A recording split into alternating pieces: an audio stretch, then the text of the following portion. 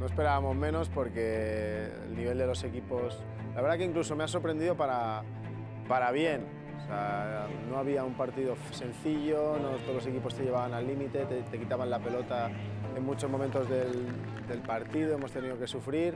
Yo creo que para conseguir un torneo así hay que sufrir, los chicos han estado inmensos, han competido mejor incluso de lo, de lo esperado y aquí está el premio. Ya estábamos orgullosos por el, por el inicio de temporada que habíamos hecho, unos meses fantásticos y esto lo corrobora porque es cierto que esto te eleva a otro nivel. Eh, competir contra los mejores equipos del mundo, algunos de ellos de tu edad, es donde te da tu verdadera medida y creo que la medida ha sido altísima. Además el partido era, estaba, estaba para nuestro lado. Yo creo que a partir del minuto 10, 15 de la segunda parte, que ellos ya bajaron un poco el nivel de agresividad, el nivel físico, los chicos empezaron a encontrarse con la pelota, a hacer nuestro juego y, tuvimos la suerte de acertar, que nos dio una tranquilidad extra y ese segundo gol ya ha dejado el partido sentenciado. Las personas funcionan mejor desde la confianza.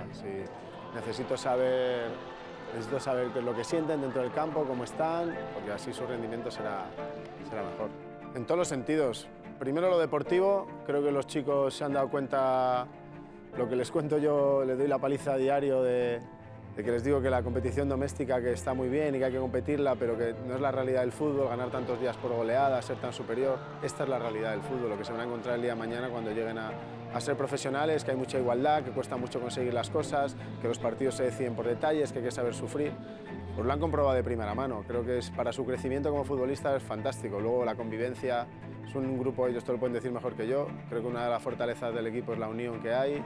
Un equipo muy unido, que, saben sufrir juntos, que yo me observo detalles de cuando se sientan en las mesas, de no hay grupitos, una vez están unos con unos, con otros, todos se mezclan. La convivencia ha sido fantástica y, bueno, y esto de, de David, que ha sido el único compañero que por lesión, una lesión grave que tuvo en pretemporada, eh, no lo vamos a tener hasta casi final de, de, este curso y imagínate el verlo desde casa, pues también sufrir, eh, no estar ahí disfrutando de la experiencia que han vivido sus compañeros. Ya a veces le cuento mis batallitas, pero porque creo que es interesante que yo he estado donde están ellos. Eh, yo he tenido las mismas, los mismos sueños y, y, he cometido los mismos errores que puedan cometer, los mismos aciertos, muchos aciertos porque llegué a, al primer equipo, entonces pues intento que esa experiencia les sirva, porque quién mejor que yo o alguien que ha estado en esa situación para, para guiarles.